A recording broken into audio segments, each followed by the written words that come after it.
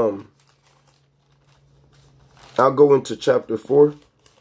I'll get a quick read through on chapter 4. And then I'm going to go into um I'm going to go into chapter 6 with Daniel in the lion's den.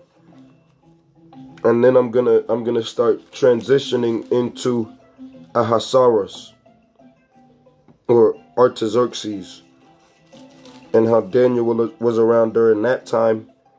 And then I'm going to transition into um and that's chapter 9. That's chapter 9 that has Ahasuerus or Artaxerxes. And then from that point, I'm going to skip over to um, the book of Esther. Because Esther was the queen during that time when uh, uh, when Artaxerxes or Ahasuerus came into power.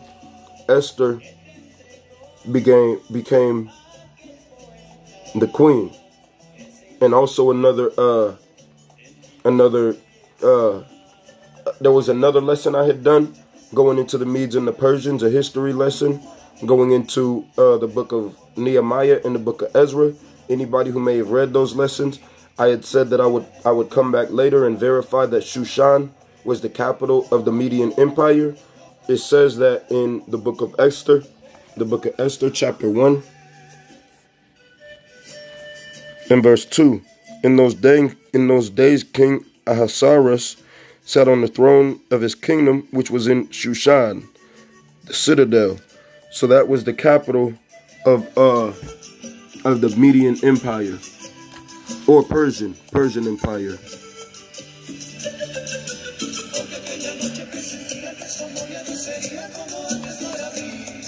Think it still is today.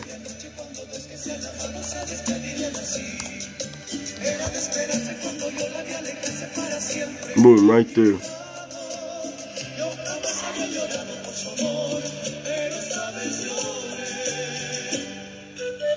Right there. Susa, that means Shushan. In around 550 BC, which is when Cyrus the Great came into power.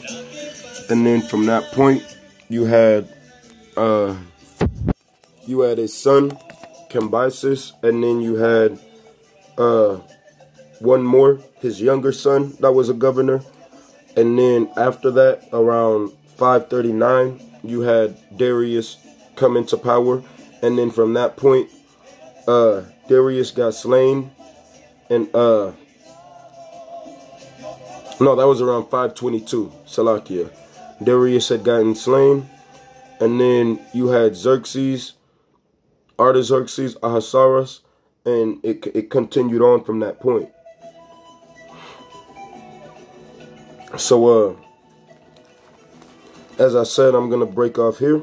And it'll either be right after this that I get into uh,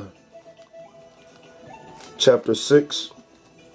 And then I'm also going to, yeah, I'm going to get into chapter 6 and I'm going to get into chapter 7. I may get into, uh, yeah, I may get into chapter 7 first. So I may touch on chapter 5 and chapter 7 because it talks about Belshazzar. And this is all Lord willing through the Spirit. But I'm, I'm thinking I'm going to, uh, if the Lord may will it, I'm going to touch on chapter 5, chapter 7, and then uh, possibly chapter 8 because it talks about how we were trampled down. Yeah, but I'm going to be going through the book of Daniel. And then when I touch on uh, Daniel chapter 6. I'm going to get a couple inserts from the Apocrypha. And when I touch on Daniel chapter 9, I'm going to go to the book of Esther.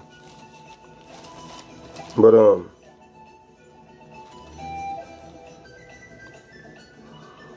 as always, I hope this lesson was edifying to y'all. Until next time, I'm going to end by giving infinite honor, glory, and praise to Yahweh, Bahasham, Yahweh Shai, Bahasham, Hahwagakwadash. Barakatha Yahweh, Barakatha Yahweh Shai, Bahasham, Ha Rakakwadash. Double honors to the elders and apostles of Great Millstone who teach and rule well, and shalom to the Akim and Aguafium out there learning along, doing your due diligence, and making your calling of election sure. Until next time, shalom.